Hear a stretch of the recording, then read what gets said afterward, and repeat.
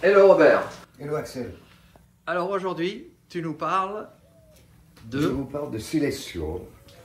Donc Celestial, euh, il y a cette planète Terre qui n'en finit plus de m'émerveiller par son extraordinaire diversité. Donc je suis un adorateur de la planète Terre, mais comme tout adorateur de la planète Terre, eh ben, c'est un marchepied vers l'infini, la planète Terre. Donc il y a cette immense voûte, infinie ou finie, on n'en sait rien, mais elle paraît infinie, et qui nous illumine toutes les nuits. Donc euh, beaucoup de mes nuits, puisque j'ai la chance de vivre dans le désert, euh, je les passe euh, à regarder les étoiles. Et puis quelquefois, bah, je plisse mes yeux légèrement ou de manière un peu plus prononcée.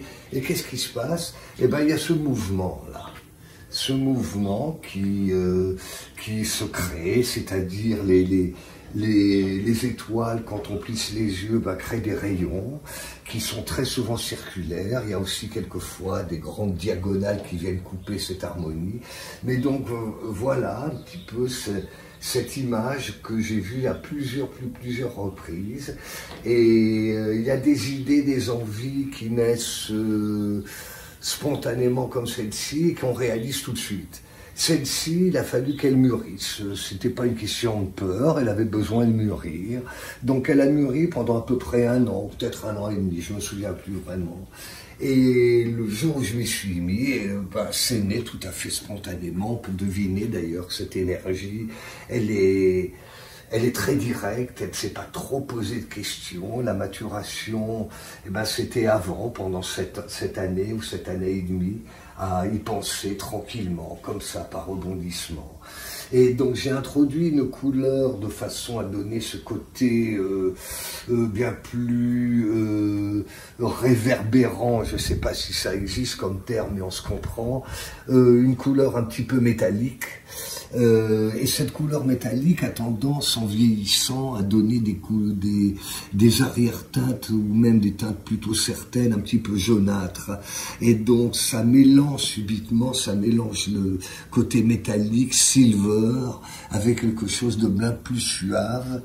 Et là-dessus, j'ai eu l'inspiration euh, dont je doutais un peu, mais j'espérais que ça marche bien, d'introduire une sorte de léger magenta qui donne des reflets euh, un peu bleutés, un peu violets, qui donne comme ça une certaine, euh, euh, comment dirais-je, fluorescence très discrète, comme le, charme discret de la bourgeoisie.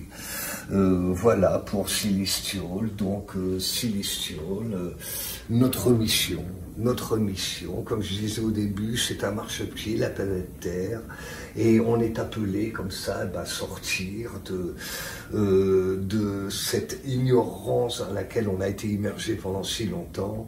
Et ceci nous stimule pour se rappeler que nous avons la mémoire du temps.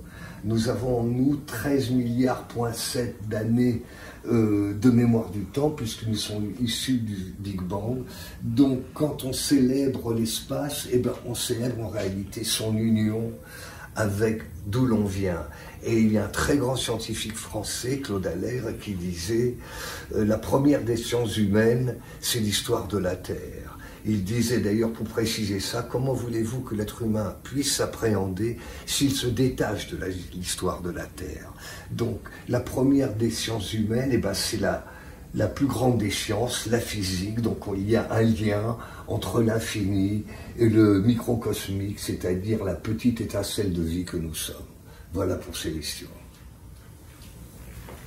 Merci beaucoup, Robert. You're welcome.